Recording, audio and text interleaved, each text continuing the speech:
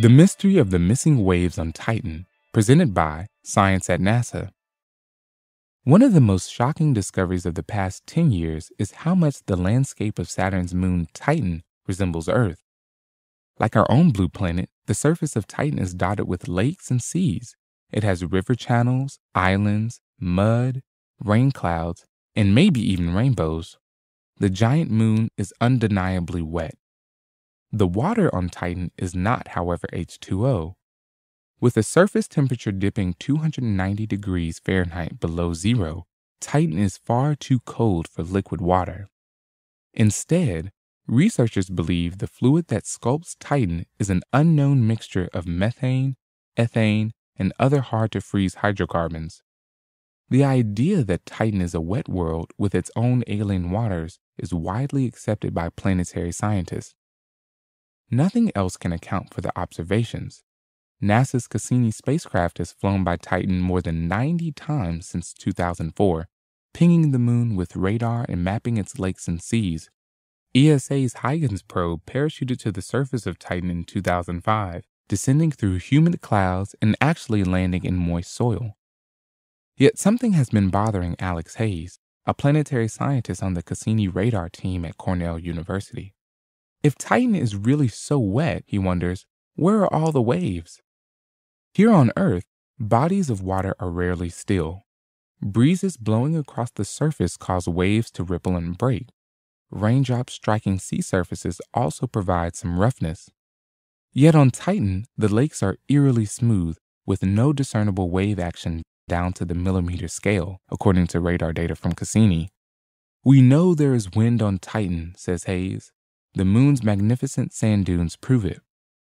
Add to that the low gravity of Titan, only one seventh that of Earth, which offers so little resistance to wave motion, and you have a real puzzle. Researchers have toyed with several explanations. Perhaps the lakes are frozen. Hayes thinks that is unlikely, however, because we see evidence of rainfall and surface temperatures well above the melting point of methane. Or maybe the lakes are covered with a tar like substance that damps wave motion. We can't yet rule that out, he adds. The answer might be found in the results of a study Hayes and colleagues published in the July 2013 online edition of the journal Icarus.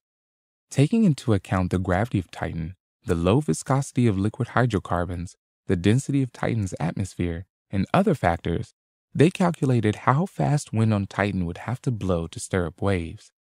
A breeze of 1 to 2 miles per hour should do the trick. This suggests a third possibility. The winds just haven't been blowing hard enough. Since Cassini reached Saturn in 2004, Titan's northern hemisphere, where most of the lakes are located, has been locked in a grip of winter. Cold, heavy air barely stirs and seldom reaches the threshold for wave making. But now the seasons are changing. In August 2009, the sun crossed Titan's equator heading north. Summer is coming, bringing light, heat, and wind to Titan's lake country. According to climate models, winds will pick up as we approach the solstice in 2017 and should be strong enough for waves, he says. If waves appear, Cassini should be able to detect them. Radar reflections from wavy lake surfaces can tell researchers a great deal. Wave dimensions, for instance, may reveal the viscosity of the underlying fluid and thus its chemical composition. Hayes is excited about bringing oceanography to another world.